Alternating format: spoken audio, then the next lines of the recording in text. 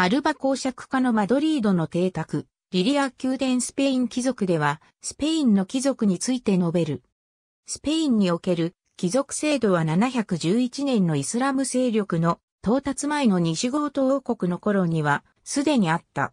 レコンキスタの時代にはカトリック王たちは戦争や政治闘争で功績を上げた一族を貴族として取り立てた。イスラム王国に対抗するアストゥリアス王国、レオン王国、ナバラ王国などから古い貴族家系が誕生した。その後は、新興国のアラゴン王国やカスティーリャ王国の貴族が台頭した。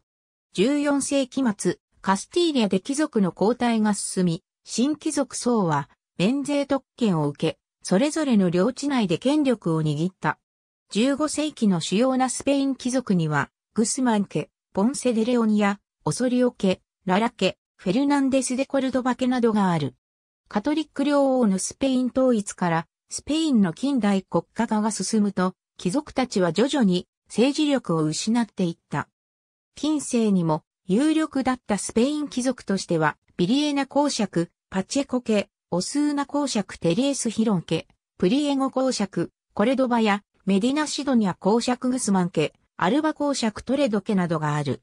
17世紀のカスティーリャの貴族の爵位は、公爵、公爵、伯爵に限られ、この三爵位の次期候補者が稀に子爵を使った。1520年までカスティーリャの爵位貴族は35名しかいなかったが、フェリペ3世時代に20の公爵くらい、25の伯爵くらい、フェリペ4世時代には67の公爵くらい、25の伯爵くらい、カルロス2世時代には78の公爵くらい、209の伯爵院が創設され、その後増加の一途をたどる。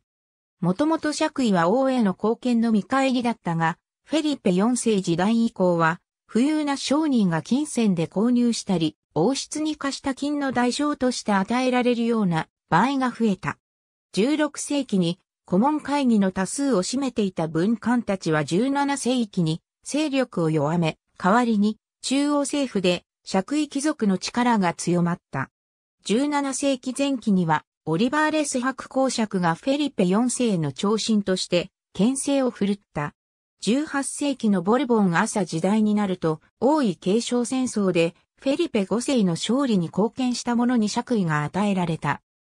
1931年の革命で王位が廃されて第二共和制になった際に貴族制度が廃止されたことがあるが、1948年に総統フランシスコ・フランコが貴族制度を復活させ、国王による受爵と同じ規則のもとに、フランコが受爵を行うようになった。王政復古後は再び国王が受爵を行っている。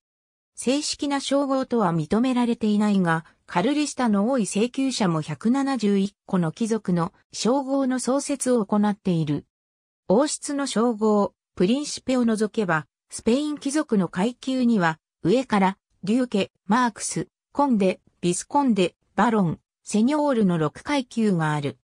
2013年時点で、爵位保持者は2000人程度と言われ、公爵は150人程度、公爵は1000人程度、伯爵は900人程度であり、死爵以下は数が少ない。スペイン貴族はグランデの格式を持つかどうかが重視される。これは国王の御前殿の脱帽や規律の免除などの特権を伴う。公爵はすべてグランデの格式を有し、公爵は140人程度がこの格式を有する。グランデの格式を伴う爵位保有者はエクシリンティッシモセニョールエクセレンタシマセニョーラの継承で呼ばれ、グランデの格式がない爵位保有者はイルストリッシモセニョール・ワルストラッシマ・セニョーラの継承で呼ばれる。伯爵以上の貴族の長男は他の称号を持たない場合には、親の称号に由来する地名の子爵位を爵位の継承まで名乗ることができる。貴族称号保持者が死去した場合、その相続人は1年以内に法務省に継承を請願する必要があり、もし2年以内に請願が行われなかった場合は、受爵者が死亡した場所の州政府が政府広報で発表した後、他の承継人に継承の道が開かれる。爵位の継承には所定の料金がかかる。貴族称号は放棄が可能だが、他の継承資格者の権利を害することはできず、また直接の相続人以外から継承者を指名することはできない。現代においては爵位を持っていても法的な特権は何も得られない。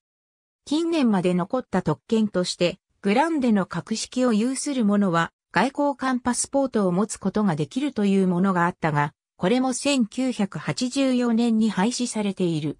だがそれでも、爵位を持つことは、社会的信頼が大きいことから、多くの人が高いお金を出してでも取得を希望する。ありがとうございます。